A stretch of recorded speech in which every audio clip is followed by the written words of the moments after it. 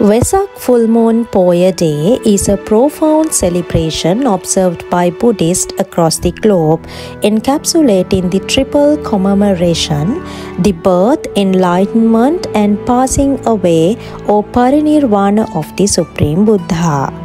The divine inquiry regarding the right time, right area, right continent, right caste, and right mother culminated in Queen Mahamaya giving birth to Prince Siddhartha under the sal trees in Lumbini, marking the beginning of the Supreme Buddha's earthly journey, which unfolded on a Vesak full moon Poya day.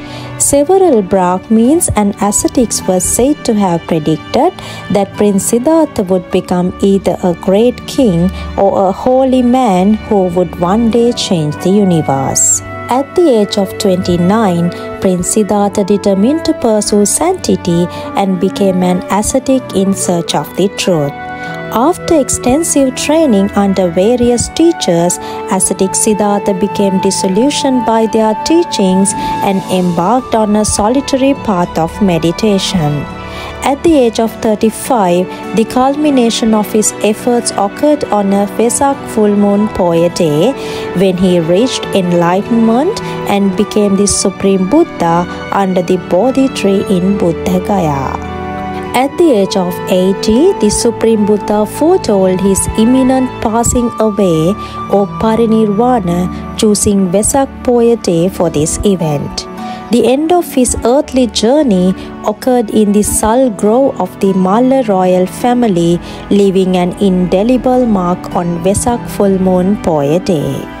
Additionally, the assurance of becoming the Supreme Buddha was given to Siddhartha Bodhisattva for the first time in his previous birth by Dipankara Buddha on a Vesak full moon Poya day.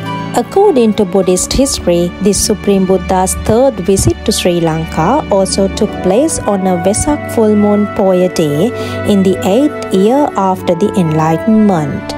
Supreme Buddha visited Kelaniya as invited by the Naga king Maniakkita and at the invitation of God Sumanasaman, the Supreme Buddha visited and set footprint known as Sri Pada on Mount Samanala during this visit. This universal celebration reflects the widespread impact of Buddha's teachings and the timeless relevance of his message. Commemorating these events, various religious and meritorious activities take place, including observing Sheela, almsgivings, and food sharing stalls symbolizing the spirit of generosity and compassion. Vesak devotional songs, pandals, lanterns, and buckets illustrating of Jataka Katha or folk tales associated with the Supreme Buddha displays contribute to the vibrant atmosphere, fostering a sense of community and spirituality. The heart of Vesak lies in the devout practices carried out by Buddhists across the globe, and the rituals not only satisfy religious needs but also create an emotionally charged and sacred environment. These are the main facts the Buddhists celebrate Vesak full moon Poya day with great reverence, festivals and processions throughout the world.